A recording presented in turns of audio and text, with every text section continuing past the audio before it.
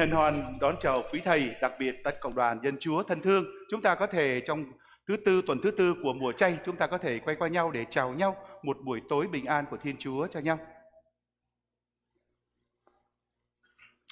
Cộng đoàn chúng ta ngoài những ý chỉ cầu nguyện, một người cũng xin cầu nguyện cho linh hồn Giuse mới qua đời. Vũ và Nhung cũng xin cho linh hồn Maria mới qua đời tại Việt Nam. Và Phương Lan cũng xin lễ dỗ cho mẹ một năm là linh hồn Maria. Nhân danh cha và con và thánh thần. Amen. Nguyện xin ân sủng Đức Giêsu Kitô Chúa chúng ta, tình thương của Chúa Cha và ơn thông hiệp của Chúa Thánh Thần ở cùng tất cả anh chị em. Và ở cùng cha. Chính Chúa Giêsu đã mở mắt cho người mù. Hôm nay chúng ta cũng đến với Ngài, chúng ta xin Ngài mở mắt tâm hồn của chúng ta, nhận ra nhận dạng ra rằng chúng ta còn yếu đuối trước mặt Thiên Chúa Nhất là đôi lúc chúng ta còn thiếu trách nhiệm đối với nhau, đối với gia đình và đối với anh em. Hôm nay chúng ta cũng qua Thánh Du Xe, chúng ta cũng xin Ngài ban cho những người cha, những người chồng luôn noi gương Ngài là một tấm gương sáng ngời cho con cái trong gia đình mình. Với tấm lòng trở về, giờ đây anh chị em chúng ta hãy thành tâm thống hối. Tôi thu nhận cùng Thiên Chúa toàn năng và cùng anh chị em tôi đã phạm tội nhiều trong tư tưởng. Lời nói việc làm và những điều thiếu sót. Lỗi tại tôi lỗi tại tôi lỗi tại tôi mỗi đà. Vì vậy tôi xin Đức Bà Maria trọn đời đồng trinh các thiên thần, các thánh và anh chị em khẩn cầu cho tôi chưa tòa Thiên Chúa. Chúa chúng ta. Xin Thiên Chúa toàn năng thương xót tha tôi và dân đưa chúng ta đến sự sống muôn đời. Amen.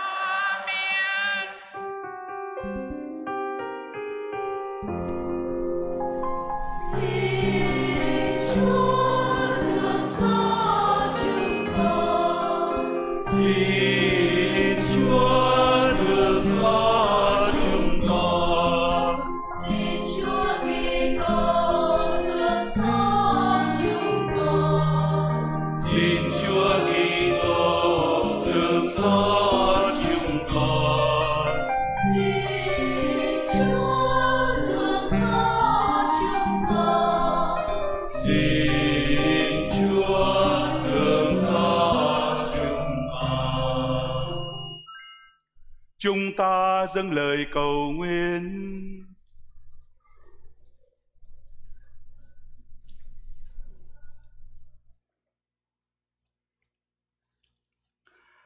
Lạy Chúa, Chúa đã sai con một giang trần để thực hiện những công trình kỳ diệu và làm cho con người được hòa giải với Chúa.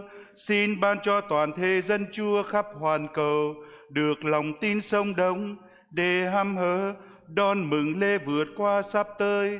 Người là Thiên Chúa hàng sông và hiền trì cùng Chúa, hiệp nhất với Chúa Thánh Thần đến muôn đời. Amen.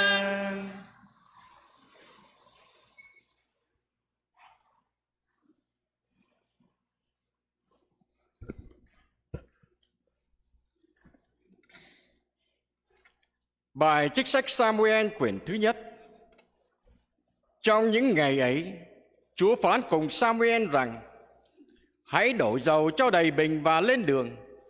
Ta sai ngươi đến nhà Isai dân thành Bethlehem Vì ta chọn một người con của ông ấy lên làm vua.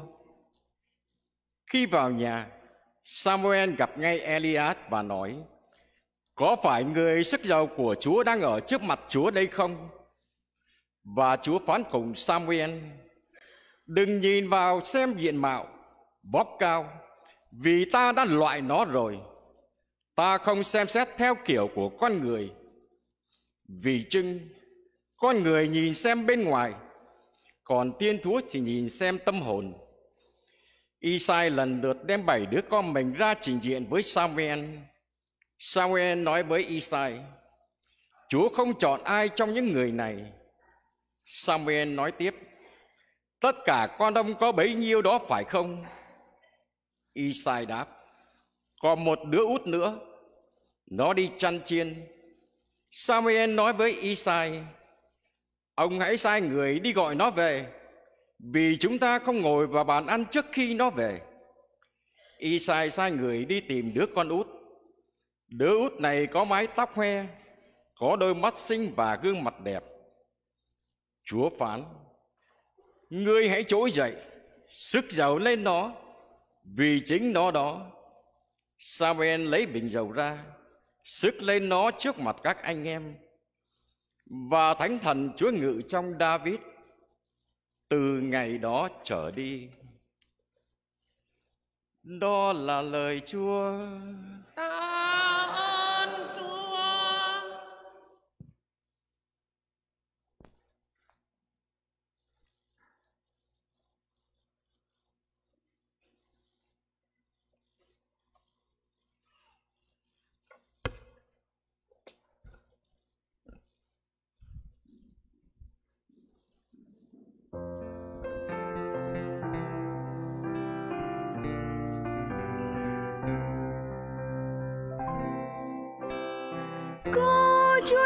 dẫn tôi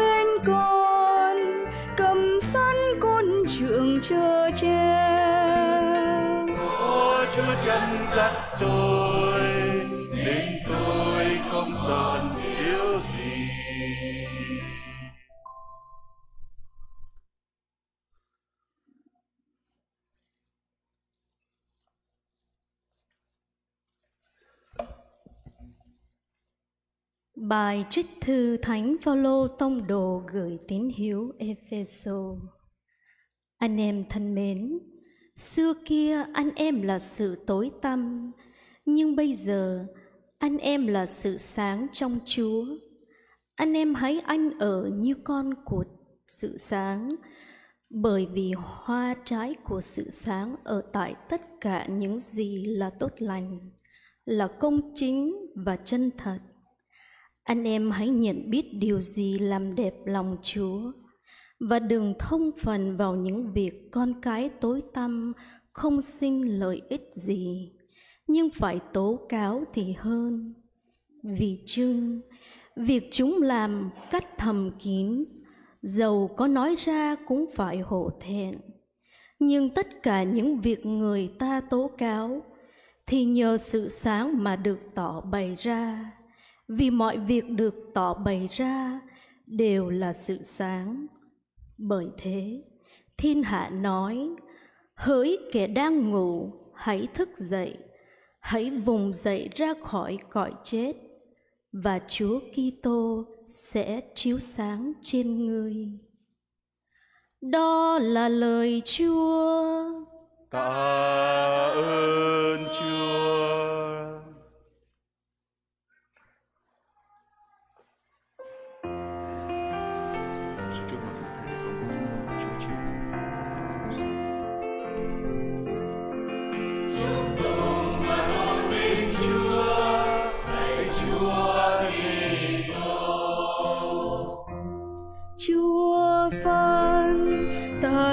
sự sáng thế gian.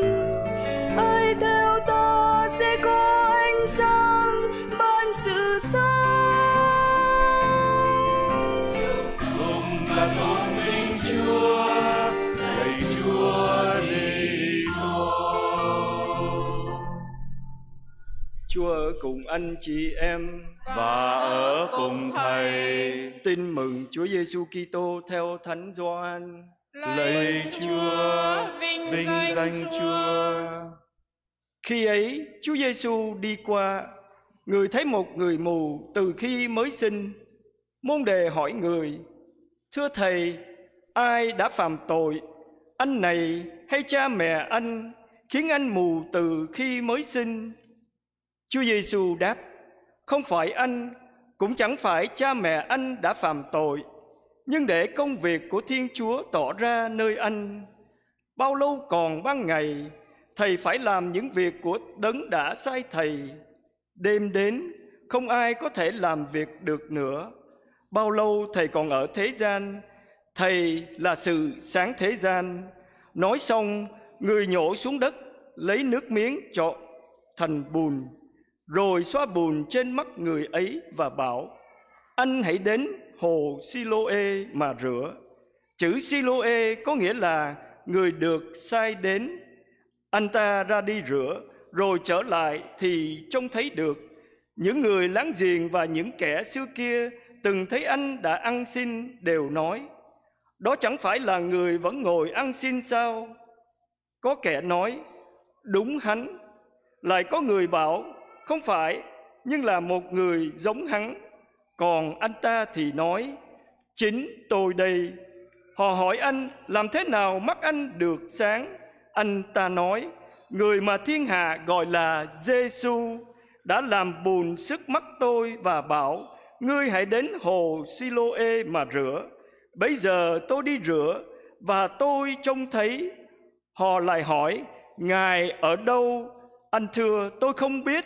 Họ liền dẫn người trước kia bị mù đến với những người biệt phái. Lý do tại Chúa Giêsu hòa buồn và chữa mắt cho anh lại là nhằm ngày sa bát.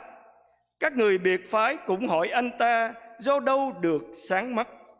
Anh đáp, Ngài đã xoa bùn vào mắt tôi, tôi đi rửa và tôi được sáng mắt. Mấy người biệt phái nói, Người đó không phải bởi Thiên Chúa vì không giữ ngày sa bát mấy kẻ khác lại nói rằng, làm sao một người tội lỗi lại làm được những phép lạ thể ấy?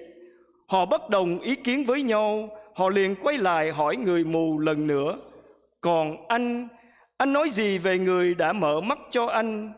Anh đáp, đó là một tiên tri, nhưng các người do thái không muốn tin anh đã bị mù và đã được khỏi trước khi đòi cha mẹ anh đến. Họ hỏi hai ông bà, người này có phải là con hai ông bà mà ông bà bảo bị mù từ khi mới sinh không? Do đâu mà bây giờ nó lại trông thấy? Cha mẹ anh ta thưa rằng, chúng tôi xác nhận đây chính là con chúng tôi và nó đã bị mù từ khi mới sinh. Nhưng làm sao mà bây giờ nó trông thấy và ai đã mở mắt cho nó thì chúng tôi không biết. Nó không lớn rồi các ông hỏi nó nó sẽ từ thưa lấy cha mẹ anh nói thế bởi sợ các người do thái vì các người do thái đã bàn định trục xuất khỏi hội đường bất cứ ai dám công nhận Chúa Giêsu là đấng Kitô. Chính vì lý do này mà cha mẹ anh ta nói nó khôn lớn rồi, xin các ông hỏi nó. Vậy các người Do Thái lại gọi người trước kia đã mù đến và bảo anh hãy tôn vinh Thiên Chúa. Phần chúng tôi, chúng tôi biết người đó là một kẻ tội lỗi. Anh trả lời, nếu đó là một người tội lỗi, tôi không biết. Tôi chỉ biết một điều, trước đây tôi mù và bây giờ tôi trông thấy. Họ hỏi anh, người đó đã làm gì cho anh? Người đó đã mở mắt anh thế nào? Anh thưa, tôi đã nói và các ông đã nghe các ông còn muốn nghe gì nữa? Hay là các ông cũng muốn làm môn đệ ngài chăng? Họ liền nguyền rủa anh ta và bảo ngươi hãy làm môn đệ của người đó đi. Còn chúng tôi chúng tôi là môn đệ của mô xê chúng tôi biết thiên chúa đã nói với mô xê còn người đó chúng tôi không biết bởi đâu mà đến. Anh ta đáp đó mới thật là điều lạ người đó đã mở mắt cho tôi Thế mà các ông không biết người đó bởi đâu. Nhưng chúng ta biết rằng Thiên Chúa không nghe lời những kẻ tội lỗi, mà hễ ai kính sợ Thiên Chúa và làm theo ý Chúa, thì kẻ đó mới được Chúa nghe lời. Xưa nay chưa từng nghe nói có ai đã mở mắt người mù từ khi mới sinh, nếu người đó không bởi Thiên Chúa thì đã không làm được gì. Họ bảo anh ta, ngươi sinh ra trong tội, mà ngươi dám dạy chúng ta ư? Rồi họ đuổi anh ta ra ngoài. Chúa giêsu hay tin họ đuổi anh ta ra ngoài nên khi gặp anh người liền bảo anh có tin con thiên chúa không? Anh đáp thưa ngài nhưng người là ai để tôi tin người? Chúa giêsu đáp anh đang nhìn thấy người và chính người đang nói với anh. Anh ta liền nói, lạy ngài, tôi tin và anh ta sắp mình thờ lạy người. Chúa giêsu liền nói, chính vì để luận xét mà ta đã đến thế gian, hầu những kẻ không xem thấy thì được xem thấy và những kẻ xem thấy sẽ trở nên mù. Những người biệt phái có mặt ở đó liền nói với người, thế ra chúng tôi mù cả ư chúa giêsu đáp, nếu các ngươi mù, thì các ngươi đã không mắc tội. Nhưng các ngươi nói, chúng tôi xem thấy, nên tội các ngươi vẫn còn. Đó là lời chúa. Lạy chúa kitô ngợi khen chúa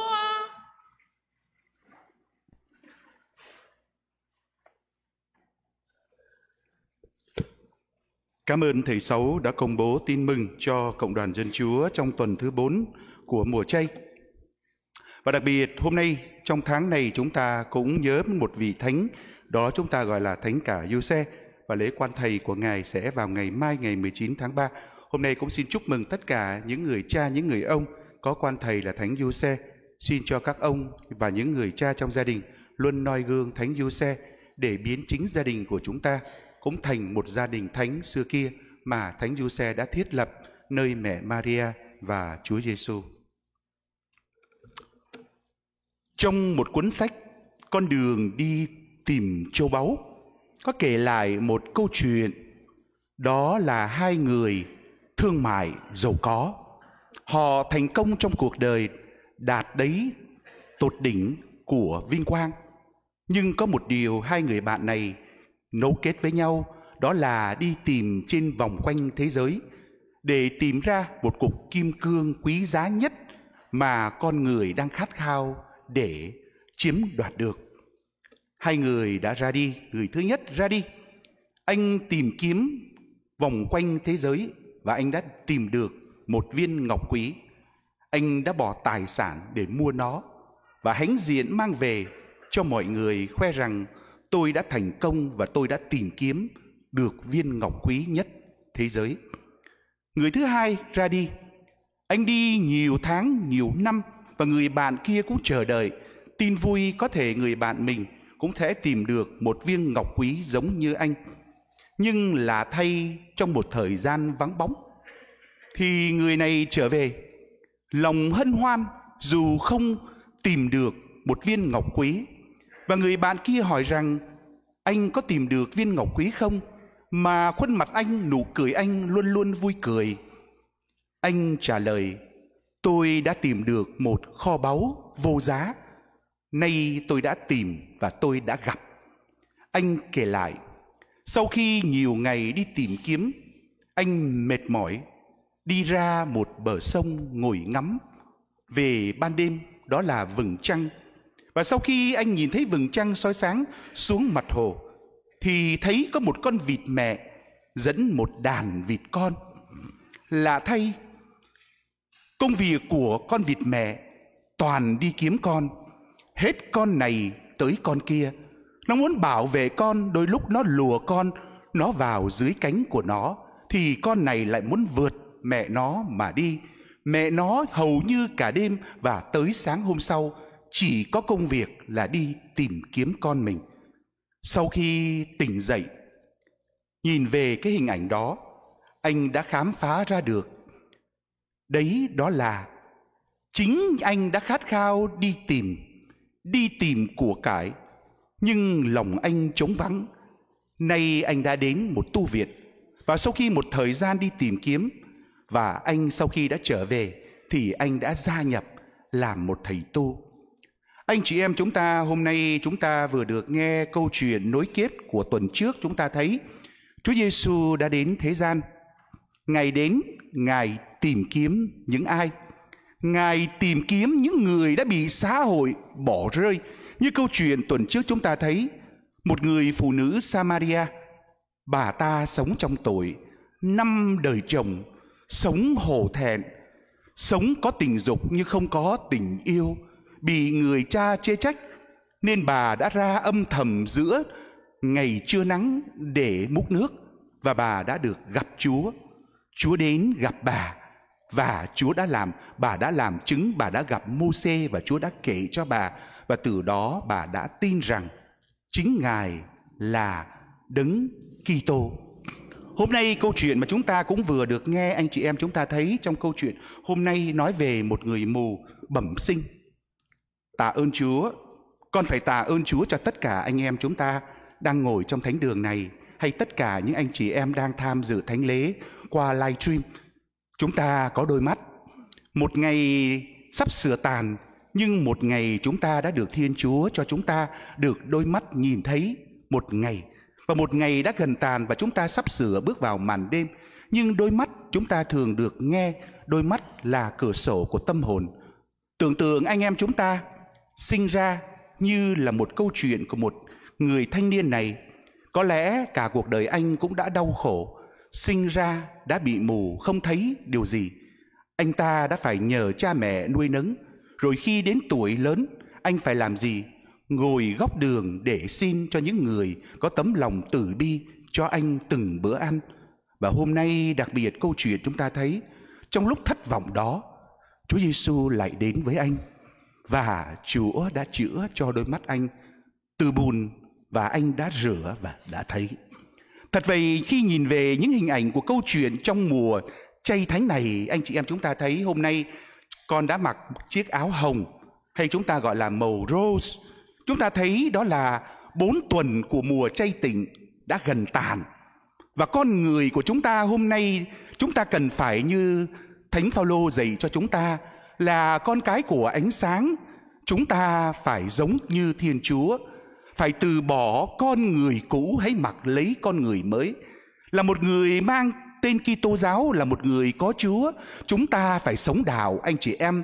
Chúng ta đừng nghĩ rằng chỉ nghe tên chỉ nghe tên Chúa Giêsu hay chúng ta chỉ mang tên người Kitô giáo. Rồi chúng ta giữ đạo chỉ cho mình hay chúng ta giữ đạo chỉ trong nhà thờ thì chưa phải là người môn đệ của Chúa Kitô. Chúa không cần chúng ta phải là người vạm vỡ, hay là một người sang trọng, hay là một người giàu có, hay là một người quyền hành, hay là một dáng vóc nào đó.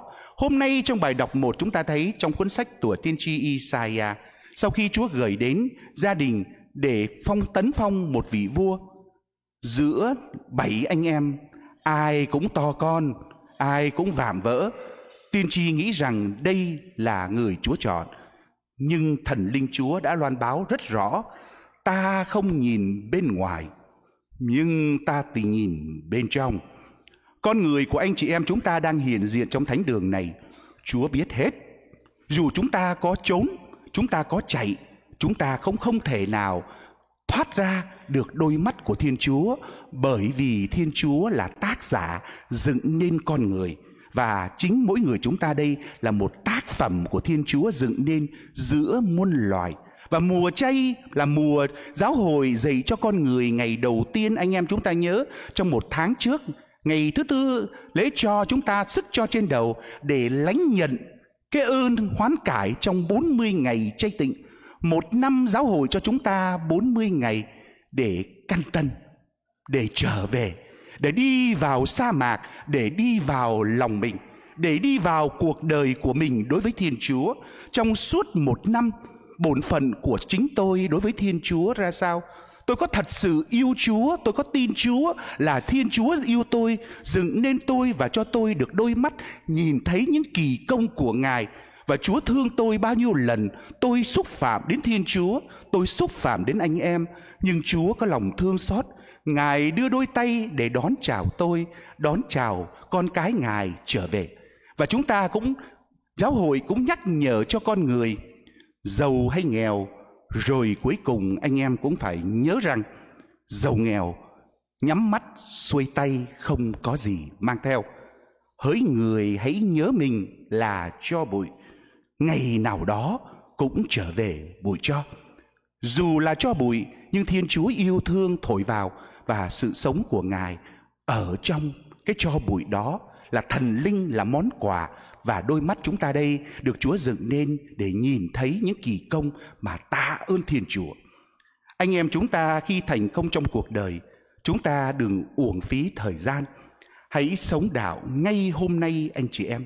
Nhiều người cứ sống đạo ngày hôm qua, nhìn về quá khứ, nhìn về những gì mình đã làm, nhìn về những gì mình đã làm cho anh em đau khổ hay tội lỗi của mình. Đôi lúc chúng ta thất vọng, có nhiều tội chúng ta đã phạm rồi chúng ta cũng đã hòa giải.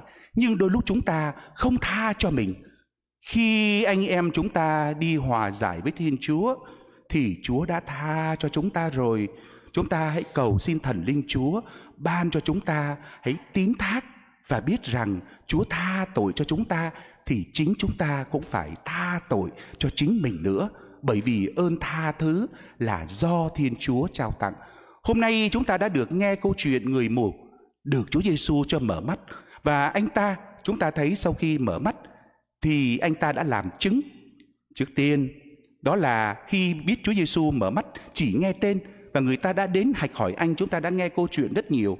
Có lẽ đời anh còn đau khổ hơn trước khi anh ta được mở mắt bởi vì bao nhiêu người thấy anh mù, nay đã thấy có lẽ anh không còn được người ta cho những đồng tiền nữa. Và người ta đã tìm cha mẹ đến để lên án, để hỏi coi ai đã mở mắt. Và cuối cùng, chúng ta đã được nghe câu chuyện, chính Chúa Giêsu đã đến gặp anh. Và Chúa đã nói, ta là đấng mở mắt con. Anh em chúng ta có được, muốn được Chúa bước vào đêm nay mở mắt tâm hồn chúng ta không? Hay chúng ta như người Pharisêu chúng ta chỉ nghe về Thiên Chúa rồi chúng ta lại đi tìm kiếm những vết đau thương của anh em hay chúng ta lên án anh em một người nào đó yêu mến Chúa, một người nào đó sinh hoạt, một người nào đó hăng say, một người nào đó yêu thương, chúng ta lại không ủng hộ những anh chị em đó. Hôm nay, đêm nay anh chị em chúng ta đang hiện diện trong thánh đường. Này anh chị em, mùa chay cũng sẽ sắp sửa, gần tàn. Và đặc biệt chúng ta sắp sửa bước vào cuộc thương khó của Chúa Giêsu. Hình ảnh của Chúa Giêsu thật yêu thương loài người. Chúng ta đừng sợ. Ngài đến, Ngài không lên án anh em chúng ta đâu. Ngài đến để cứu vớt. Ngài như con vịt mẹ đi tìm chúng ta. Đôi lúc chúng ta cứ chạy, thoát ra vòng tay của Ngài. Đôi lúc cám dỗ, đôi lúc tội lỗi, đôi lúc tiền của, đôi lúc đam mê, đôi lúc dục vọng, đôi lúc cờ bạc, đôi lúc rượu chè, đôi lúc xì ke, nhưng trong mùa chay hãy vững tâm đứng lên, Chúa đang đón chờ. Hãy trở về với Ngài, cánh tay Ngài đang mở, hãy đến để Ngài ôm lấy chúng ta. Amen.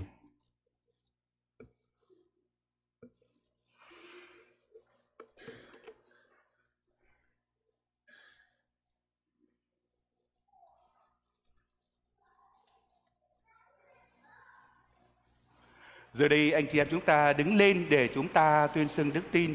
Tôi tin kinh một Thiên Chúa là Cha toàn năng, đấng tạo thành trời đất, muôn vật hữu hình và vô hình. Tôi tin kinh một Chúa Giêsu Kitô, con một Thiên Chúa, xin bởi Đức Chúa Cha từ trước muôn đời người là thiên chúa, bởi thiên chúa. Anh sang bởi anh sang thiên chúa thật, bởi thiên chúa thật. Được sinh ra mà không phải được tạo thành. Đồng ban thế với đức chúa cha. Nhờ người mà muôn vật được tạo thành. Vì loài người chúng ta và để cứu rỗi chúng ta người đã từ trời xuống thế bởi phép Đức Chúa Thánh Thần, người đã nhập thế trong lòng trinh nữ Maria và đã làm người, người chịu đóng đinh vào thập giá vì chúng ta. Thời quan phong Siô Phi La Tô, người chịu khổ hình và mai tang, ngày thứ ba người sống lại như lời thánh kinh. người lên trời ngự bên hữu đức chúa cha.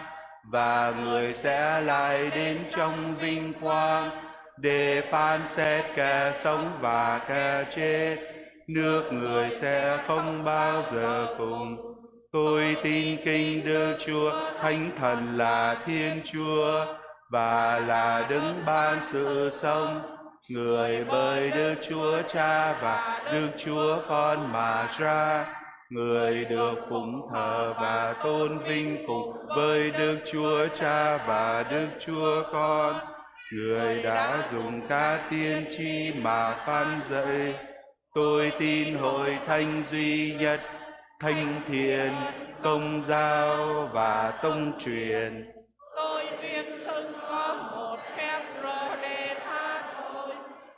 trông đợi kẻ chết sống lại và sự sống đời sau. Amen. Anh chị em rất thân mến, Chúa Kitô là ánh sáng thế gian. Với lòng tin tưởng phó thác, chúng ta khiêm tốn dâng lời nguyện lên Ngài.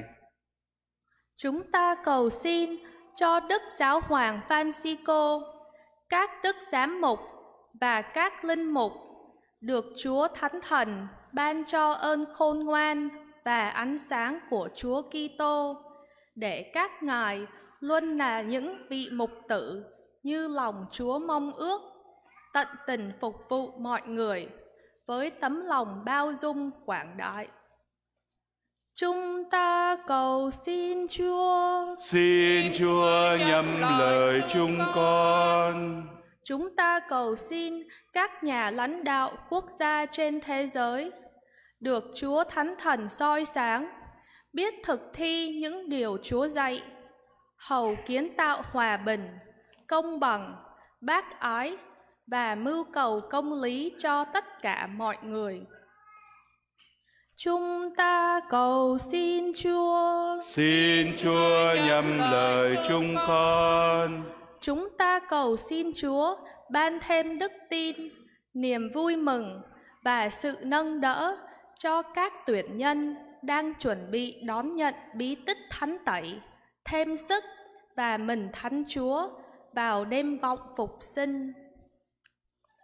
Chúng ta cầu xin Chúa. Xin Chúa nhầm lời chúng con. Chúng ta cầu xin cho mọi người trong cộng đoàn giáo xứ chúng ta được Chúa ban ơn và soi sáng cho mọi người ngày càng trưởng thành hơn trong đời sống đạo, luôn dấn thân trong mọi sinh hoạt của cộng đoàn giáo xứ và tích cực tham gia các hoạt động bác ái xã hội. Chúng ta cầu xin Chúa. Xin Chúa nhầm lời chúng con.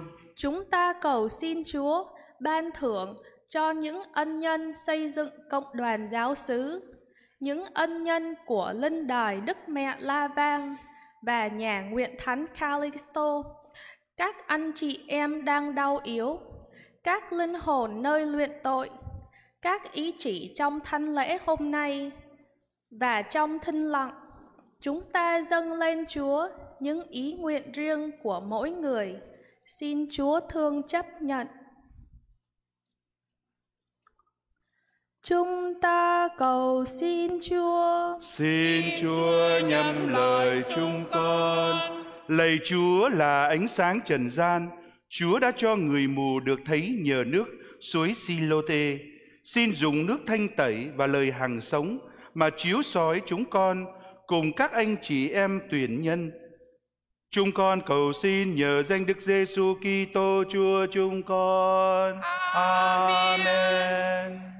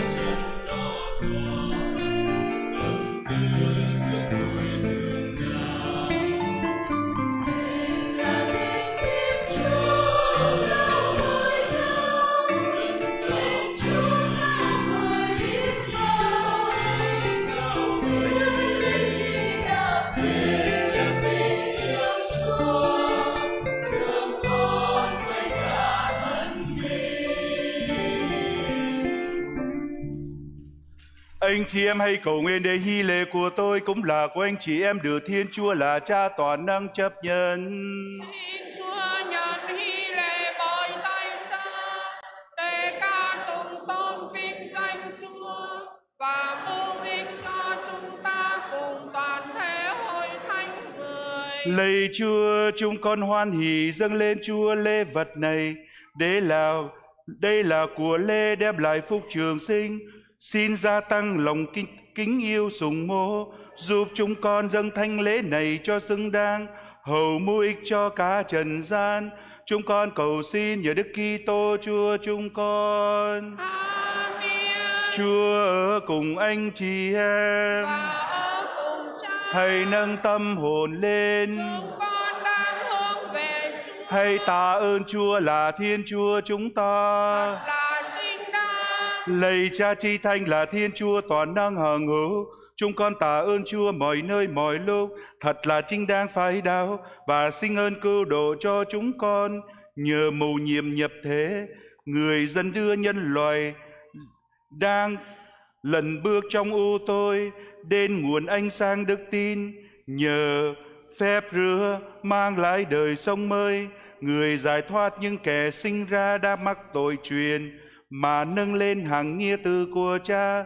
Vì thế mọi loài trên trời dưới đất đều thờ lạy cha và hát bài ca mới cùng với toàn thể thiên thần, chúng con chúc tụng cha và không ngừng tung hô rằng.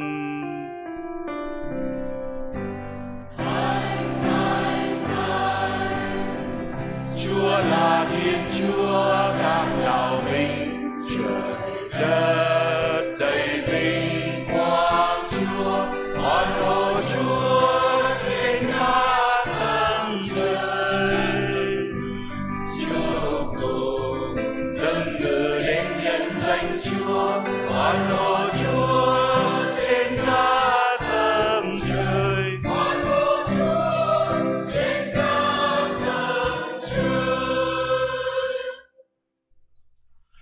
Lạy Chúa, Chúa thật là đấng thánh là nguồn mọi sự thanh thiền.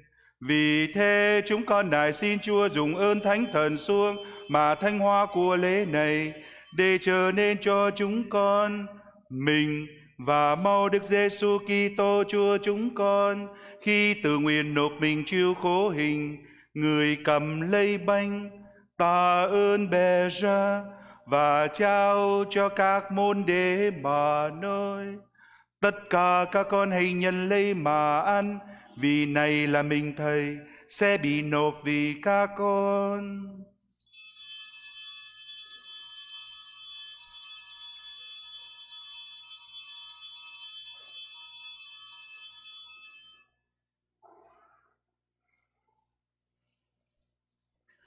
Cùng một thế thức ấy sau bữa ăn tôi người cầm lấy chén cùng tạ ơn và trao cho các môn đệ bà nơi tất cả các con hãy nhận lấy mà uống, vì này là chén máu thầy.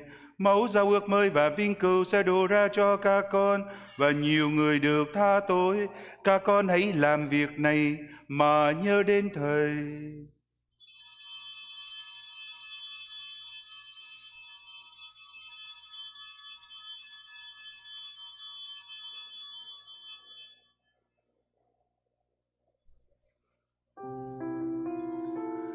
Đây là mầu nhiệm đức tin.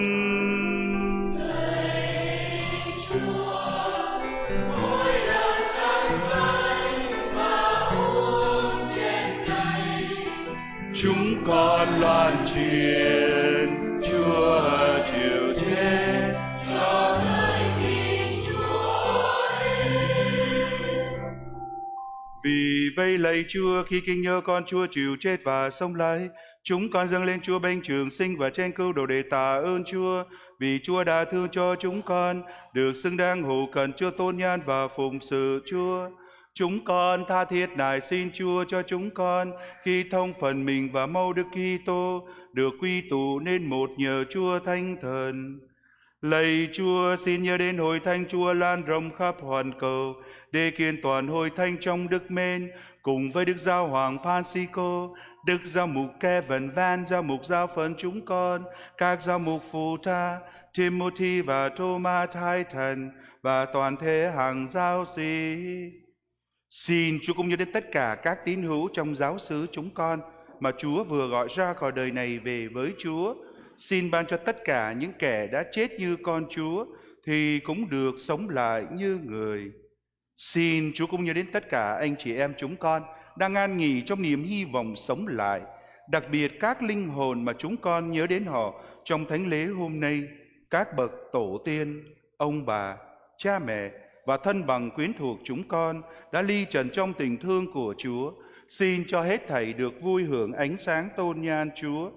Chúng con cũng nài xin Chúa thương xót đến tất cả chúng con, cho chúng con được đồng hưởng sự sống đời đời cùng với Đức Trinh Nữ Maria, Mẹ Thiên Chúa, Thánh Giuse bạn thanh sạch Đức Trinh Nữ, các thánh tông đồ Phêrô và Phaolô và toàn thể các thánh, nhất là các thánh tử đạo Việt Nam đã sống đẹp lòng Chúa qua mọi thời đại và cùng với các ngài chúng con được ca ngợi và tôn vinh Chúa nhờ Đức Giêsu Kitô con Chúa.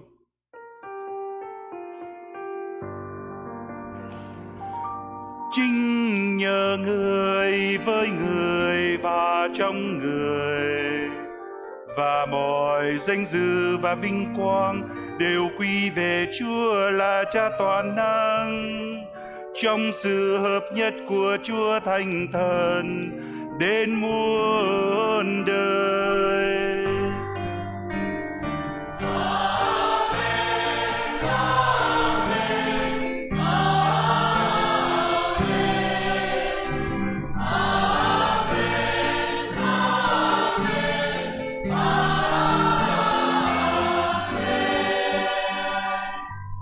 Giờ đây anh chị em chúng ta hãy tạ ơn Thiên Chúa vì qua bí tích rửa tội chúng ta đã được phúc gọi Thiên Chúa là Cha qua kinh mà chính Chúa Giêsu đã dạy cho chúng ta. Lạy Cha chúng con ở trên trời, chúng con nguyện danh Cha cả xa nước Cha chỉ đến, ý Cha thể hiện dưới đất cũng như trên trời.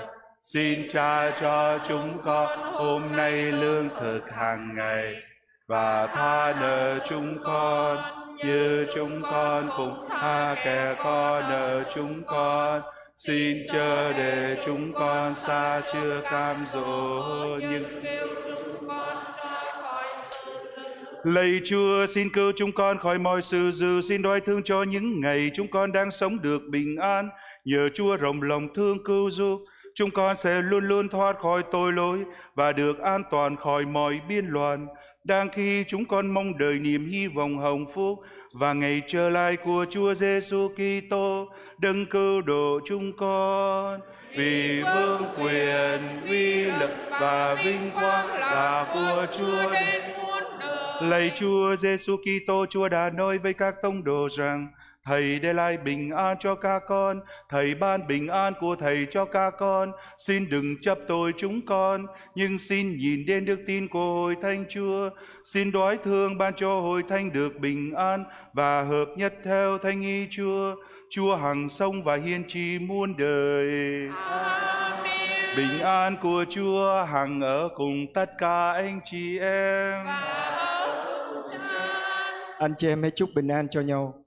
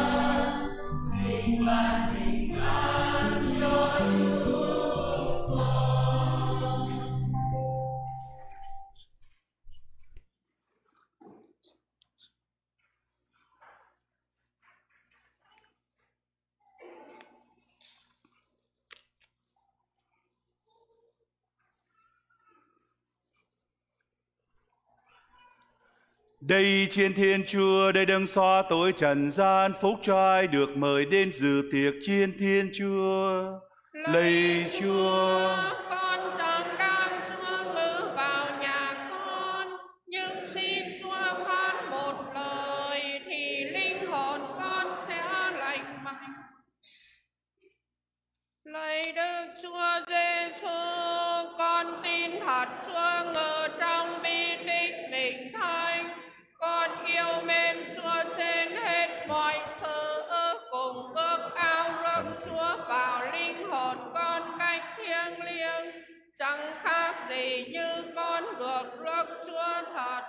Con xin đón rước Chúa cùng kết hợp làm một với Chúa.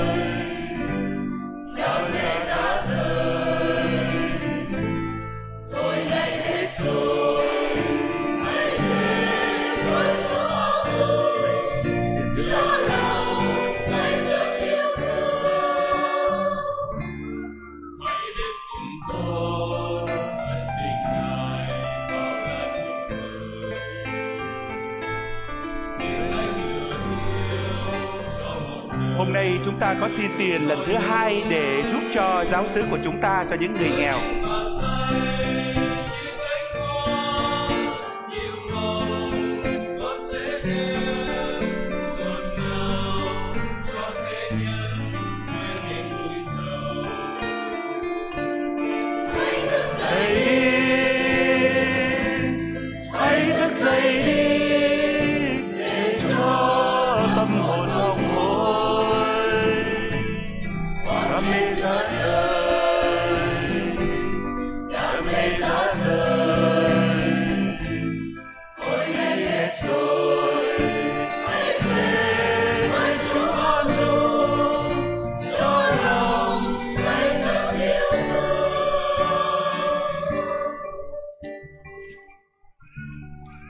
Xin kính chào toàn thể cộng đoàn dân Chúa.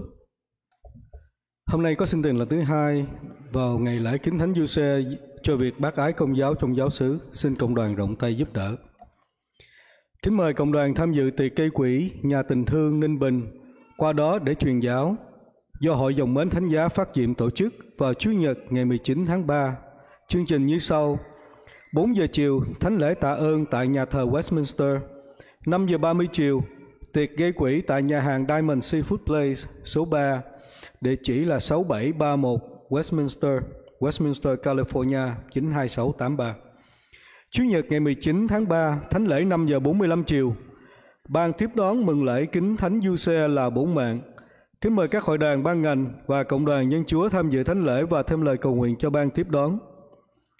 Trong mùa chay, xin cộng đoàn đến đón nhận bí tích hòa giải vào những ngày như sau. Thứ tư ngày 22 và 29 tháng 3 từ 7 giờ đến 8 giờ tối. Mỗi thứ bảy buổi sáng từ 8 giờ 30 sáng đến 9 giờ 30 sáng. Buổi chiều từ 3 giờ chiều đến 4 giờ 30 chiều. Ban tổ chức đại lễ phục sinh kính mời đoàn Liên minh Thánh Tâm, nhóm du xe thợ và quý vị thiện chí có mặt vào thứ bảy ngày 25 tháng 3 lúc 9 giờ sáng tại trung tâm mục vụ giáo xứ để giúp thiết lập sân khấu cho lễ lá. Chủ nhật ngày 24 tháng 4 sẽ không có thánh lễ 2 giờ 15 chiều vì giáo xứ dùng nhà thờ tôn kính Chúa Nhật lòng thương xót Chúa với ba sắc dân. Xin cộng đoàn tham dự thánh lễ lúc 4 giờ chiều hoặc các giờ thuận tiện. Quỹ mục vụ PSA hàng năm của giáo xứ đã bắt đầu.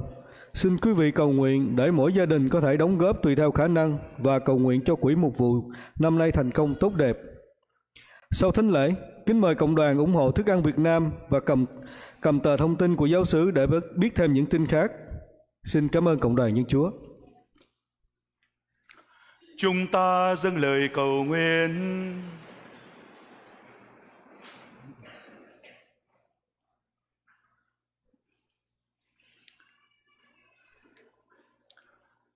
Lạy Chúa là ánh sáng muôn đời, chiếu soi mọi người sinh ra ở trần thế.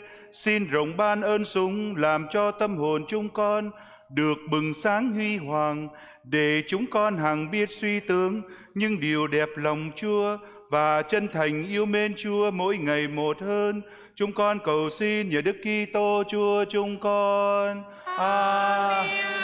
Lạy ơn Tổng lãnh thiên thần Michael, xin giúp chúng con trong cơn giao chiến, đánh phá sự hiểm ác mưu sâu quỷ dữ.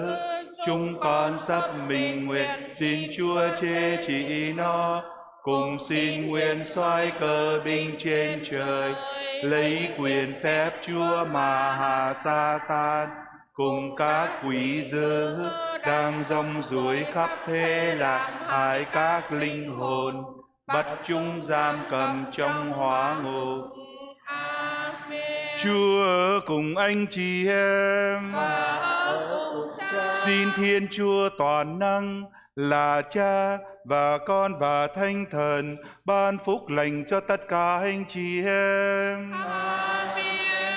Thanh lễ đã xong, chúc anh chị em đi bình an. Chúa. Xin Thiên Chúa ban cho anh chị em chúng ta một tuần mới tràn đầy ơn lành của Ngài và cũng cảm ơn rất nhiều đến các anh chị em trong ca đoàn ca ngợi Chúa chiều nay và cũng cộng là sau thánh lễ chúng ta cũng tạt qua chợ để ủng hộ chợ nhà của chúng ta. Cảm ơn tất cả cộng đoàn.